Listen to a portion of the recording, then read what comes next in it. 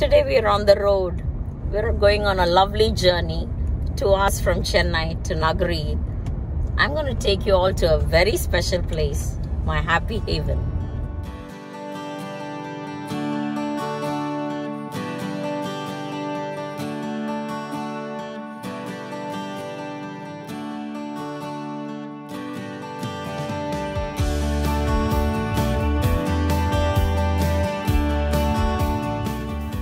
Kidney failure patient and being on dialysis for over 17 years now, and I'm going into my 18th year, I found that what we eat and what we are buying from our stores is really chemical ridden food stuffs.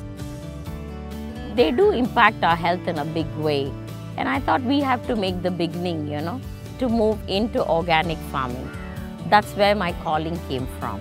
I thought we should start eating properly and showing people what eating good food can do to us and to our health.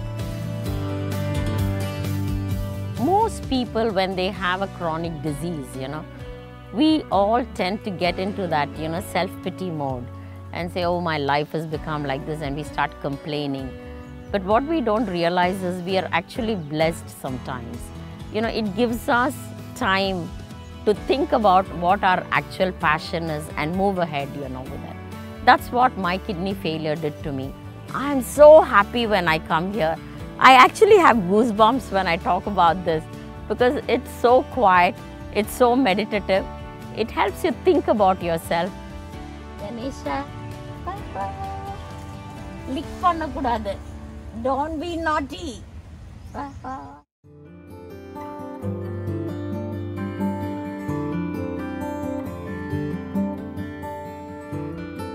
மேலே வந்து panchagavya spray பண்ண சொல்லியிருக்கோம். இது இந்த two டேஸ்க்குள்ள evening வந்து இந்த activity panchagavya வந்து every ten days போட போறாங்க. இப்போ கொடுத்துட்டு இருக்காங்க.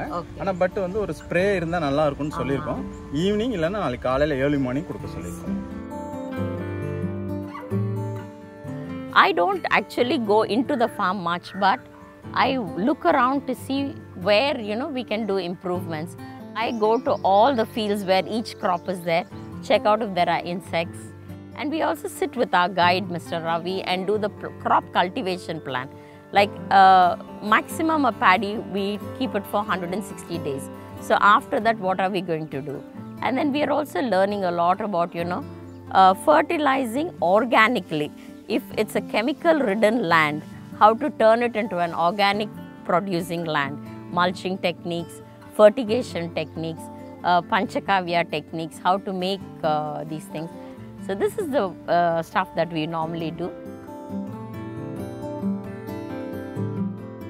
You know, the whole world comes to tell you, no, you can't do this. How can you do it? And the more people said that, you know, I just felt, no, I have to prove them wrong. Why is it that, you know, you decide what I can do and what I can't do? I think I should do it, right? How can you decide that you can do this? Whether it was my close family or, you know, distant relatives, they all thought I was out of my mind when I said I'm going to do a farming uh, project. They said, no, you can't travel that long. You can't do this. What about your food? What? But I've been doing this for the past eight, nine months. And believe me, Sundays are the best days of my life now. I will work to make sure that in 10 years it becomes a success. Then we'll see what happens. All of us should have a passion for life. But you should be committed to, you know, finding your happiness. If you're going to be, you know, depending on others to make you happy or to make you do things in life or to, make you achieve something, it's never going to happen because all of us have our own happiness and our own goals. You leave others around. You see what you want to do. And there's nothing that you can't do in this life.